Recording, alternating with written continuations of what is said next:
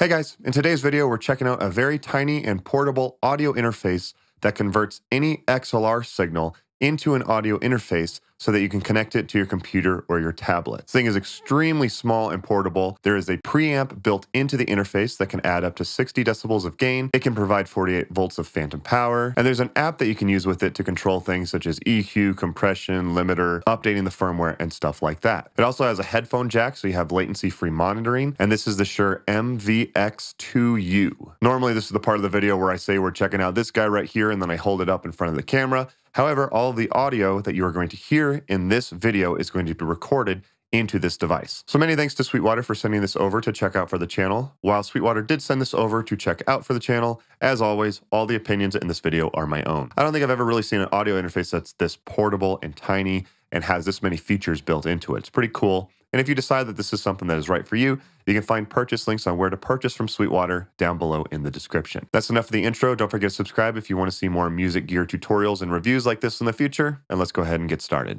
So here's the device right here. It's so tiny and compact. It fits in the palm of my hand. So easy to bring anywhere that you need. XLR up here in the front for plugging in a microphone. And on the back here, you have USB-C in and a headphone 3.5 millimeter out. It does come with a USB-C to USB-C cable. Of course, you can always use USB-C to USB-A to connect it with your computer. But I'm glad that it's the updated USB-C. Connect it in the back here. Plug in a microphone up in the front. I'm just going to plug in just a standard Shure SM58 for the example here. And then you can connect it to either a tablet or to your computer. So you can see I'm able to record into my iPad as well. Look how easy that was. Hey, checking the mic. One, two, test, test. Checking the mic. One, two, check, check. So you can hear I recorded it a little too hot actually. And that is what the software is for, which I'm going to get to in a minute. And you do get the headphone out for latency free monitoring so you can hear what you're doing as well. So I can connect some in ear monitors to this and listen to what's being recorded. Really cool. We're connecting it to a computer, you can see I've just connected it to my computer and in Logic, I just go to settings to audio, input device, and I set it to the Shure MVX2U. And just automatically found it. It'll do the same thing in Ableton just like any audio interface. Doesn't get easier than that.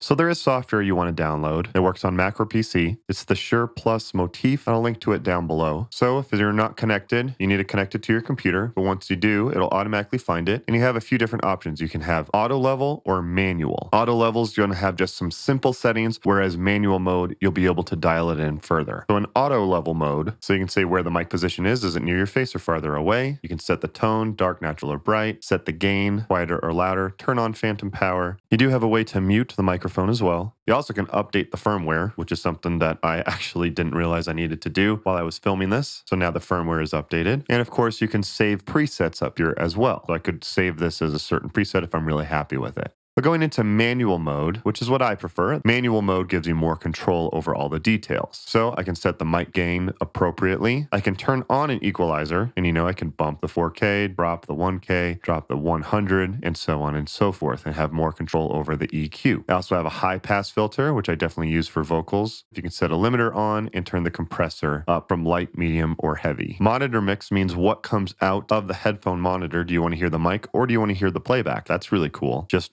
or do you want to hear everything that's going on as well? That's nice that it gives you that as an option. And then, of course, you can save the preset if you want so that you can come back to it later. Pretty incredible that you get so much control over this tiny portable device. The software allows you to get it to sound exactly how you need it to. Really nice that this is included in such a portable device. So, really cool device, really portable, really flexible with all the features that it has. It's so tiny, it's so easy to bring anywhere that you need it to. And as of time shooting, it's listed at 129. And again, if you are interested in purchasing this, you can find purchase links to purchase from Sweetwater down below in the description. So who could benefit from this? Anyone who needs a portable audio interface. This is so easy to travel, just have it in your backpack. Singers, podcasters, musicians, musicians on the road. If you're traveling, this is definitely a huge plus. Even if you just need to record, you know, voiceover stuff at home or just a single instrument at home, it's still a really nice and clean sounding interface, even if you don't need the portability, but the portability is definitely a huge plus. I was blessed really recently to play for a week out in Mexico, and one of the musicians that I played with needed to do some production there. And this could have definitely helped him out, but it definitely made me realize hey, I could probably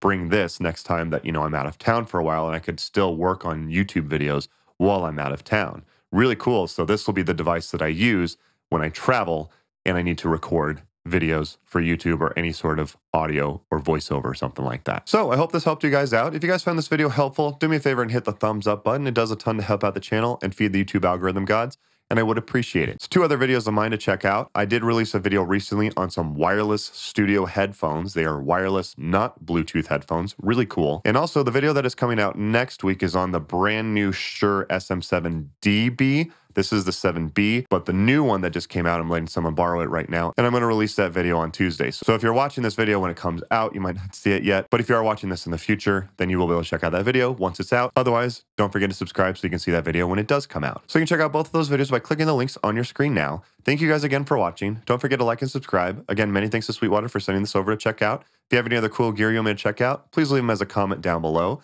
Don't forget to follow me on Instagram at Scott Music. Once again, thank you guys again for watching. Don't forget to like and subscribe, and I'll see you next time.